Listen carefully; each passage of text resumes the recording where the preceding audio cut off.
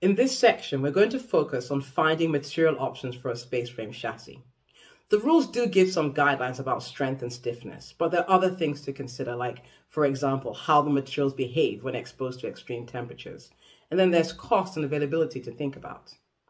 The material selection methodology by Professor Mike Ashby allows you to do this efficiently and allows you to justify your decision in the competition.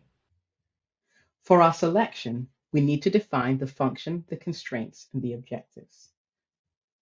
By function, we mean the geometry and the primary loading condition. Now, in this case, our space frame is made up of hollow tubes. That's our geometry. And for this, we're going to consider the frontal impact load condition. And we've taken this from another innovation course, the space frame chassis analysis using ANSYS Mechanical. In that condition, the front beams receive the highest deformation and for the purpose of material selection, this is best represented as a beam loaded in bending with fixed supports. The constraints are the non-negotiable criteria. What are the properties the material absolutely must have?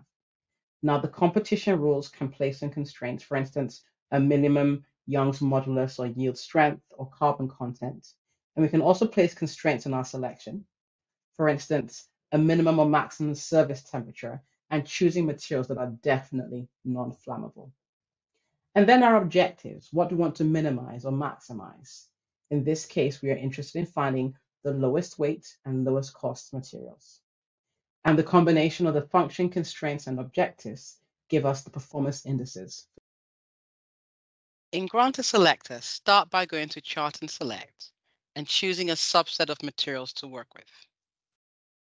We're going to go with all bulk materials because that removes things like fibers, which we can't use for this application.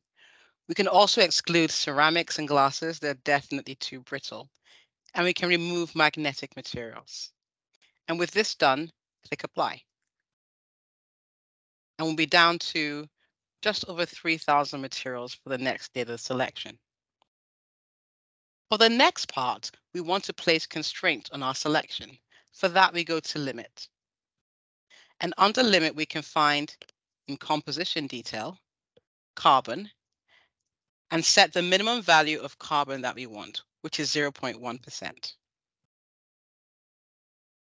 Under mechanical properties, we can set the minimum value for Young's modulus, which is 200 gigapascals, and for yield strength, 305 megapascals. We can click apply here and we've constrained our selection to just 569 materials. But we're not done yet. We're also interested in looking at how the material behaves in certain thermal environments. So we can set the maximum service temperature to have a minimum of 90 degrees.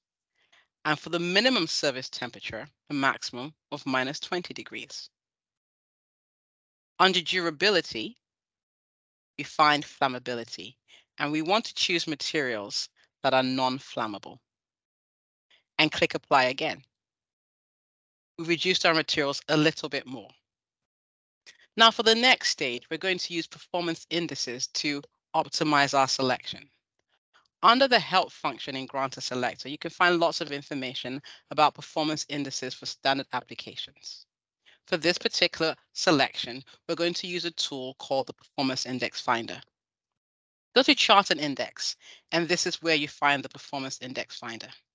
When I click on it, it allows me to choose options. Under function and loading, you find the geometry and loading condition that most closely resembles what you're selecting for.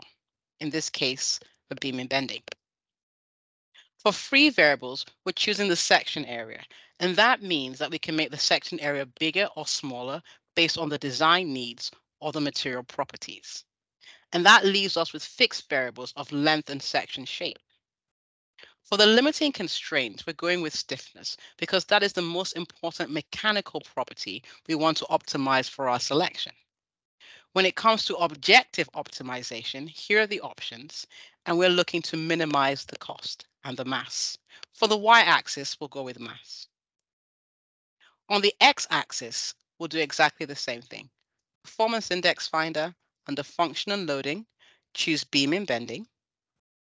Free variable, fixed variable, limiting constraint, and in this case, we're going to optimize the cost, which means the lowest cost possible, and then click OK. What we have now is a chart of all the materials that have met our criteria ranked based on their mass per unit of stiffness and their cost per unit of stiffness. To have a better view, remove the grayed out materials that have failed the selection and then zoom in. If cost were no objective and we just wanted the lightest material at whatever cost, then these ones over here will be the best, best ones. Beryllium, well, we can't use that. It's a toxic material. But here we have an aluminium fiber composite. It's low mass, but very high cost. Cost is something we did want to consider. So what we can do is create one more chart that compares all these materials based on their cost. Back to chart and index. On the y-axis, we can look at the price. And if you want to include sustainability considerations in your design, then on the x-axis, you can look at the carbon footprint. And click OK. Once again, remove the materials that have failed the selection. We're going to zoom in. We still have a lot of materials to look at, so we can use the box tool to just zoom in on the very few at the bottom left-hand corner that have the lowest price and lowest carbon footprint and still fulfill the criteria. Let's zoom in. And these are our top candidate materials. Carbon steel, structural steel, and several others. And these are the ones that we can choose out of this entire subset. Now, the one, the last thing we want to do is to make sure that the material we choose actually makes sense. You can do this by checking that particular material. How is it typically used? Double click on the name and it takes you to the data sheet for this carbon steel, the AISI 1095. And under typical uses, you can see that this material is used for general construction, automotive, gears, springs, electric cars, etc. So that seems to me that this is a good choice.